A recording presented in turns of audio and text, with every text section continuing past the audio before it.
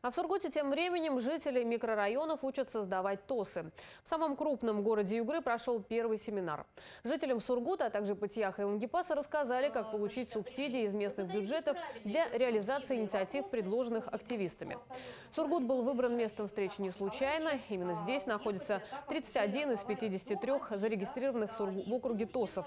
Кроме того, в городе накоплен положительный опыт в получении финансовой поддержки на реализацию предложений от жителей микрорайонов по благоустройству придомовых территорий, организации досуга для различных категорий граждан, а также решений ряда других задач. Проект устава Это и, э, э, и защита прав жителей, и привлечение дополнительного ресурса на своей территории, и э, благоустройство территорий, и участие в федеральных э, региональных программах э, комфортной среды. В 2017 году а, в субсидирование вошли 15 территориальных общественных самоуправлений, а, реализовали свои проекты, таких как Масленица, День а, защиты детей, празднование Нового года. На 2018 год в субсидию входят 18 территориальных общественных самоуправлений. У нас существует определенная тенденция, а, и а, средства бюджета заложены порядка 17 миллионов.